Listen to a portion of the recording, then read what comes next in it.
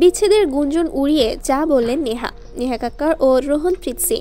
বলিউড ইন্ডাস্ট্রির জনপ্রিয় গায়িকা নেহা কাক্কার ও তার স্বামী রোহনপ্রীত সিং এর সম্পর্কে নাকি চির ধরেছে, এমনকি তাদের বিচ্ছেদের গুঞ্জনও উঠেছে। চলতি মাসের শুরুতে এমন গুঞ্জন উঠেছিল, এবার সেই গুঞ্জন উড়িয়ে দিলেন নেহা নিজেই।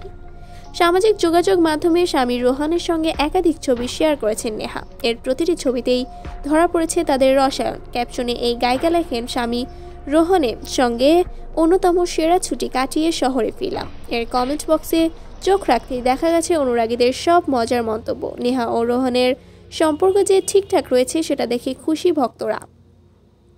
বিয়ের পর থেকেই স্বামীর প্রতি ভালোবাসা উজাড় করে লেখা, ছবি শেয়ার করেন নেহা। সব উদযাপন, ছুটি কাটানোর সময়ে পাশাপাশি দেখা যেত এই যুগলকে। তবে ছন্দপতন হয়েছিল এ বছরের জন্মদিনে। গেল ছয় জুন ছিল নেহা কাক্কারের জন্মদিন।